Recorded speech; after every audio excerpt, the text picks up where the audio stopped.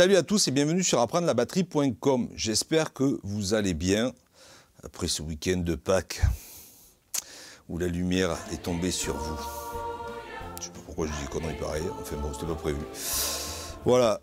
Euh, merci à tous ceux qui ont acheté le cours sur la technique de doigt parce que effectivement euh, ça a été plus que d'habitude et euh, donc c'est cool ça c'est cool et d'un autre côté ça veut aussi dire qu'il y a beaucoup de, de gens qui se posent la question euh, sur sur cette technique sur sur ce côté là de la, de la batterie voilà donc ça me quelque part, ça m'a fait plaisir et quelque part, ça me responsabilise par rapport à ce cours. Et je me dis, bon, euh, vu qu'ils sont beaucoup à avoir acheté ça, ils se posent des questions, j'aimerais pas leur faire un cours en, en bois. Donc, je me suis dit, est-ce que vous voulez que je vous fasse une vidéo où je vous montre comment je travaille euh, ce PDF euh, je peux vous montrer par exemple quand je fais mon, travail de la semaine, comment je passe sur ce PDF et en même temps je vous donnerai les tempos les tempos butoirs euh, sur lesquels euh, je suis sur chaque exercice.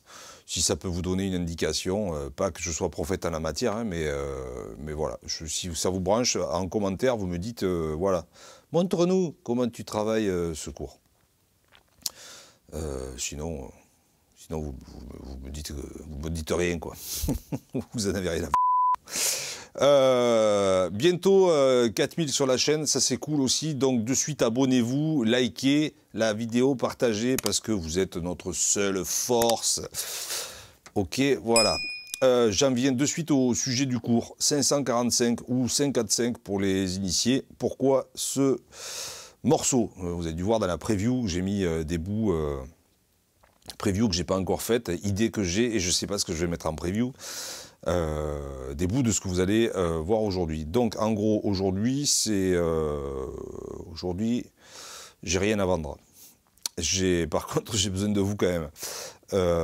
pourquoi ce morceau? Alors en début d'année j'ai décidé de mettre en musique en gros certains concepts de batterie. Ça fait des années que je travaille des choses que je les joue pas forcément en fait en conditions réelles et je me dis bon mais à quoi ça sert de travailler ça si tu le joues pas? Bon, vous connaissez toujours euh, l'adage qui peut le plus peut le moins. Donc on travaille des choses toujours un peu au-dessus pour être à l'aise dans ce qu'on a besoin de faire. Mais euh, cette année, je me suis dit que j'allais perdre du temps pour composer de la musique, et euh, mais comment je mettrais en pratique ces choses, et que certainement, le temps que je perdrais à composer de la musique serait du temps de gagner dans le fait d'intégrer ces choses-là, ce que je joue dans mon jeu. Je m'explique pourquoi. Euh, comme vous avez pu certainement vous en apercevoir par, rapport à votre travail, on travaille beaucoup de trucs, mais souvent les leaks, les fils, les grooves, ou euh, je ne sais pas quoi d'autre, euh, ne ressortent pas dans notre jeu. C'est souvent d'ailleurs une question d'élèves.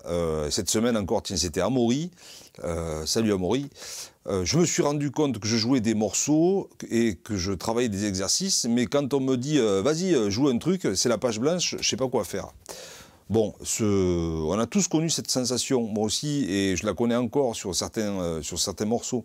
Donc il n'y a rien d'exceptionnel, mais tout ça, ça peut plus ou moins se, se gérer, s'expliquer. C'est-à-dire que quand on met en pratique des idées ou, euh, ou enfin qu'on travaille des idées en gros ou qu'on travaille des exercices, une fois que l'exercice est terminé, quand on est un bon soldat, on a tendance à s'arrêter là et, euh, en fait, euh, souvent quand on a terminé un exercice et qu'on s'arrête là, l'exercice il n'est pas assimilé il n'est pas assimilé. Pour l'assimiler, il eh ben, euh, faut généralement passer à une autre étape, c'est-à-dire improviser avec, jouer avec, sans avoir de, support papier, pour essayer d'assimiler le trait, de le rentrer dans notre jeu, de se l'approprier dans le jeu. Ça va passer par euh, jouer telle chose, mais l'orchestrer différemment, euh, le, jouer sur un autre débit. En fait, il y a un vrai travail de fond qui fait que souvent, certains le font, mais tout le monde ne le fait pas, et souvent ceux qui le font pas n'assimilent pas tout. Euh, et en gros, tout ce qu'on a pu bosser, il y en a beaucoup qui passent aux oubliettes. Et, euh, souvent, d'ailleurs, un jour, on revoit une idée où on entend sur un, sur un audio euh, une idée, un fil, un groove, ce que vous voulez. Et puis on se dit, ah putain, ouais, mais ça, je connais, je, je l'ai travaillé, mais putain, je l'avais oublié, quoi. Je l'avais zappé. J'imagine que tout le monde connaît cette sensation. Dites-moi ça euh, en commentaire. Dites-moi, est-ce que ça vous est déjà arrivé? Parce que sinon, je vais passer pour un, mec qui a une maladie rare. Mais euh, il me semble que, c'est arrivé à tout le monde. Bon. Euh, donc, ma démarche avec ces morceaux, car il y en aura plusieurs, c'est d'ancrer un peu plus certaines idées dans mon jeu de façon à les intérioriser plus facilement à les intérioriser aussi en musique et non uniquement euh, tout seul derrière une batterie.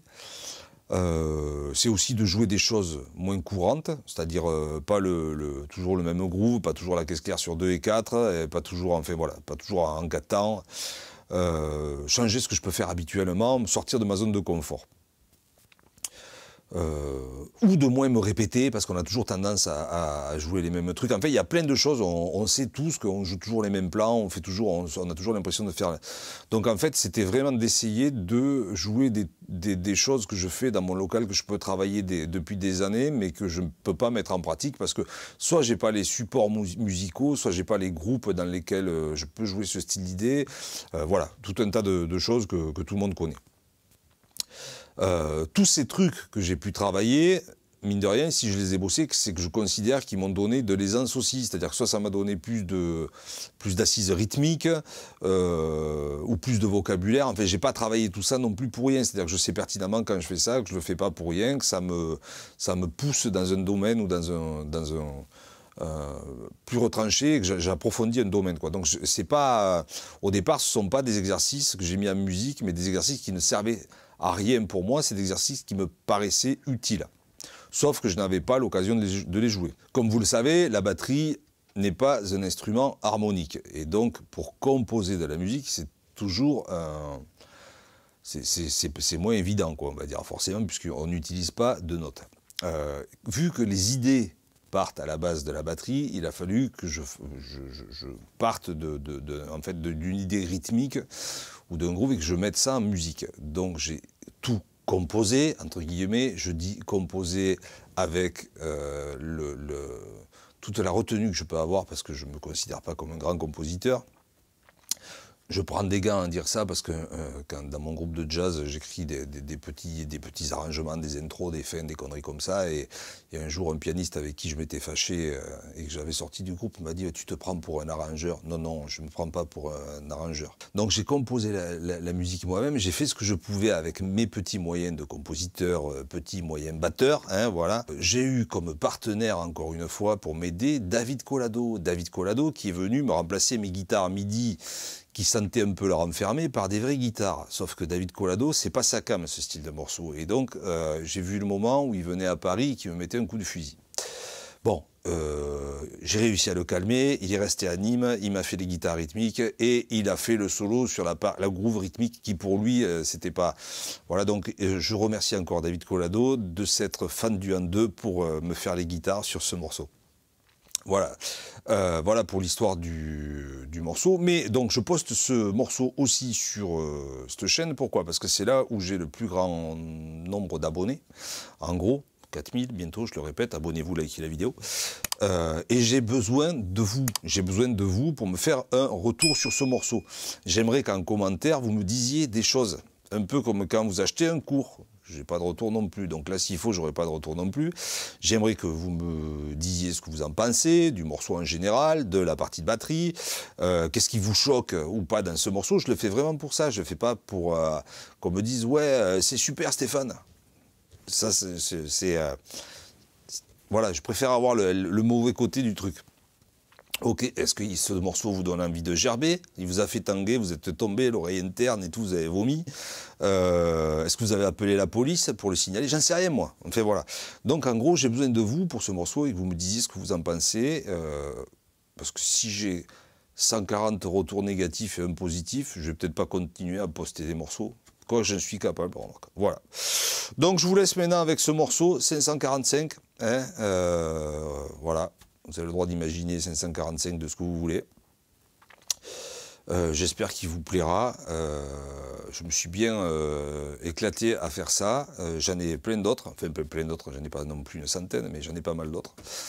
Et surtout, ben, faites-moi un retour, dites-moi quelque chose, c'est important. Voilà, je vous dis à plus tard sur la batterie.com et puis abonnez-vous, abonnez-vous, likez, partagez la vidéo. Allez, ciao